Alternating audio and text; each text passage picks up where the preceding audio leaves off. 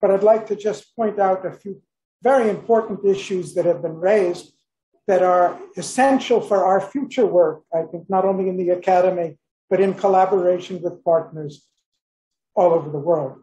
Uh, Peter made a very important observation that the evolution of society is nothing new. Uh, uh, and that's true. It has been uh, evolving over millennia. Uh, but then what is new today, I think, is important for us to understand. One of the things that's new is never before has the evolutionary, the evolution of society stood to determine the whole future of humanity. Where we're no, whatever we do individually for our own benefit or uh, uh, pain or suffering, uh, never before have, have the, the the risks and the potential rewards been of this magnitude.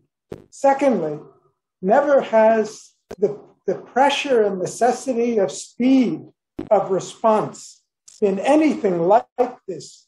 In, I mean, the Industrial Revolution spread over two centuries.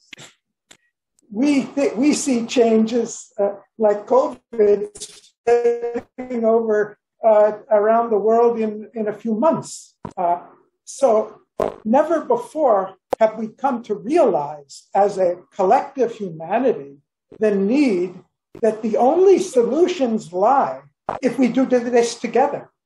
And that is unprecedented. We recognized after World War II, at least the European, the warring nations recognized we can't afford another world war but a lot of the world was left out of that process uh, anyway. But today we realize that unless everybody participates, unless everybody's engaged, unless we're all aligned, we'll be working at cross purposes and undermining our collective capacity uh, to achieve. So there is something unprecedented, and that comes, I think, to something very important. How do we make the process of social evolution, which has been long, slow, and independently operating, leading to catalysts and imitation and competition and so on. How do we make this a collective movement of humanity? And that raises the issues that Frank raised of what would be the values that, that run it, because he's absolutely right. It is the values that are going to determine the type of change. How do we build consensus for those values? And then one of our speakers, at least one mentioned the problem of power. Those, we may have the values that we want, but do we have the power? Uh, because change is affected by power. And how do we instill those values into the centers of power or reframe the centers of power in such a way to really imbibe the values that we put on paper long time ago, like the Universal Declaration of Human Rights, which we now uh, push forward as the 17 Sustainable Development Goals, but still without the organizational power to enforce them. So, another uniqueness of this is for the first time in humanity, we, we evolved nation states over centuries. Now we are compelled under pressure to evolve instruments for global governance uh, at a rate, pace, and to do something unprecedented in history, no longer in bits and pieces, it fits and starts. And we don't have the institutions to do that. And on top of all that, we have to have the humility to know we don't really fully have the knowledge of how to, how to consciously evolve ourselves. We may know what should be done, we may be very clear to us what everybody else should do, but how to get it done. And I think the humility to recognize this is to place us really at the forefront of where human evolution is today.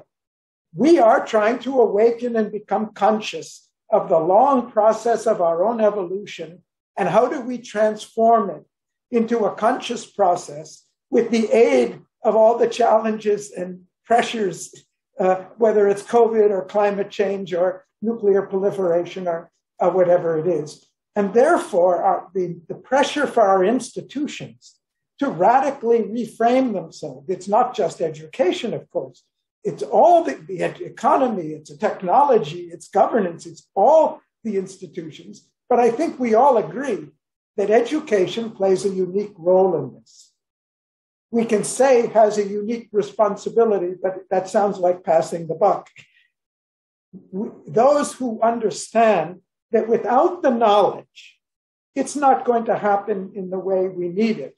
And that means we have a greater responsibility to look beyond our present knowledge, our present institutional survival. There's enormous pressure on institutions today in to survive in, in changing times and to adapt and to really align themselves to the, to the needs of the world. I think this is a message that's coming out from all that's being said at the conference uh, that education is not a sector anymore. Education, we're, align, we're trying to align ourselves with the central aspirations and central needs of humanity. And there's nothing wrong with saying we don't have all the answers because our government, our democracy doesn't have all the answers. Uh, our civil society doesn't have all the answers. And there was one final point. Uh, I think it has been ma- mentioned perhaps by Frank or uh, by Zbig, uh, the, the necessity of bottom up. Whether we're talking bottom up or top down, I'm not convinced it's one or the other. I think we need it coming from all directions and, and all sectors uh, because, but there is a, there, but the point is the kind of dramatic revolutions that we've seen in the past have tended to be something in, implemented from above. But if you look at them, always because there was a sanction and preparation from below where there was a readiness or an awakening or an aspiration from below. But never before have we been able to engage and mobilize global civil society or global humanity to come together, to mobilize our energy, to mobilize our aspirations, to mobilize the correct collective power of humanity, to work together. So this is this is an evolutionary challenge worth working for.